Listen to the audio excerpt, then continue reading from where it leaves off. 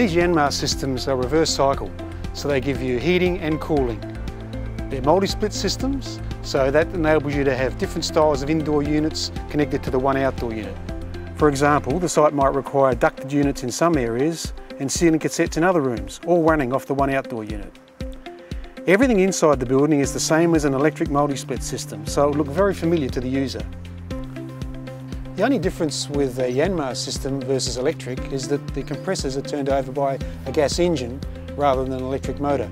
To keep the building at the desired temperature, the gas engine changes speed and the compressors cycle on and off when required. When not needed, the gas engine will stop itself automatically and restart when it is needed. Yanmar's gas engines are very similar to your car engine. As you can see, it has spark plugs, oil filter, starter motor, air cleaner. And just like your car engine, it does need to be serviced, but only once every five years or 10,000 hours.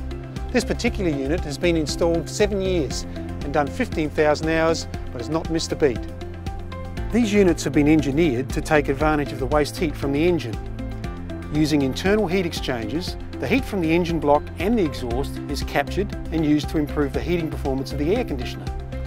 This enables the gas-powered system to avoid those long de-icing cycles that plague many electric air conditioners when it's really cold.